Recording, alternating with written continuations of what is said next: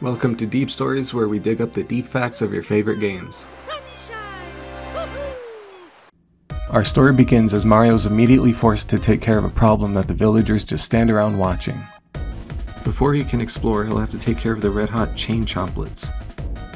They seem to be in distress as they run around, so why are they so hot and fiery? As you know, this breed of chomp is closely related to the chain chomp and shares their appetite for mushrooms. The chomplets ate the spicy flaming mushrooms that can be seen growing around the village. The mushrooms burn their mouths and cause them to drip spicy diarrhea wherever they walk.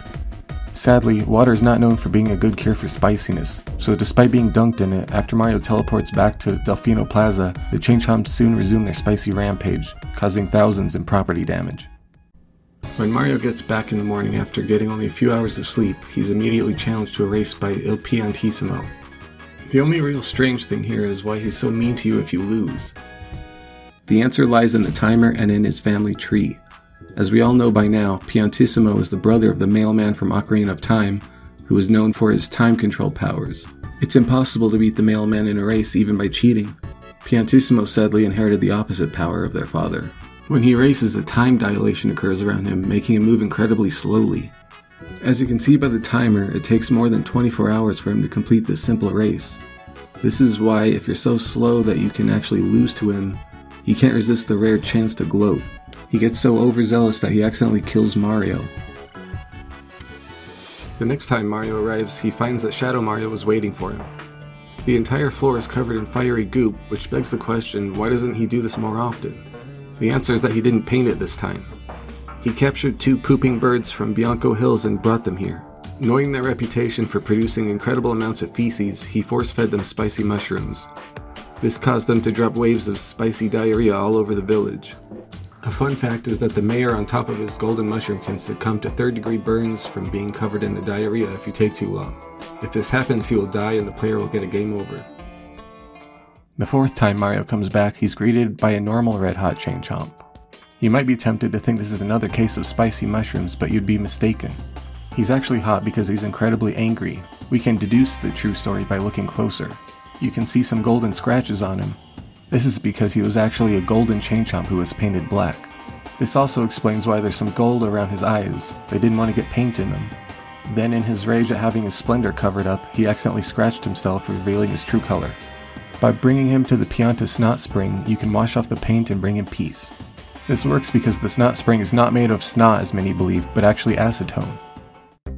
Surprisingly, Mario's father's first appearance in the franchise is in this mission. You can see his similar mustache and hear him calling Mario son. When Mario goes to the multi-fruit tree, you can see the chili pepper is conspicuously missing. By looking around we can find out why. The spicy mushrooms have all been harvested after the previous missions, leaving only the regular ones. This red Pianta got desperate for some spice and stole the village's last remaining chili. After passing some one-ups that Mario hasn't grown large enough to eat yet, he enters the secret world. After passing through the metal detector, he is greeted by many Chuckster homunculi. These creations of Bowser attempt to throw him off the edge into the void, explaining why this one doesn't get attacked by the Stroll stews surrounding it. It's too dark here for these homunculi to photosynthesize with their trees, so Bowser sends his son Shadow Mario here once a day to feed them. After Mario killed the two poop birds a couple days ago, Shadow Mario only has a little more spicy diarrhea saved up. He uses it to attack the Piantas directly this time. Unlike with the mayor, we now have a timer to see how long they have to survive until their diarrhea birds kill them. This Pianta here is pretending to help but actually wants the others to suffer. The nearby Piantas beg him to hurry and clean, but he blatantly tells you he doesn't want to. This kind of behavior is why red Piantas typically look down upon chartreuse Piantas. If Mario lets the Piantas die, their family's collective grief and anger psychically hits Mario all at once, killing him instantly.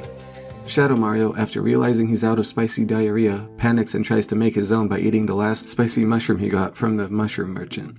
Unfortunately for him, Mario catches him orange handed and beats the crap out of him as he pathetically tries to run away, soiling himself the entire time. Finally, Mario joins the Piantas Fluff Festival celebration. But after stealing the red coins from the children's coin hunt event and sacrificing them to the mother Pianta tree to form a shine sprite, he is banned from returning to the village.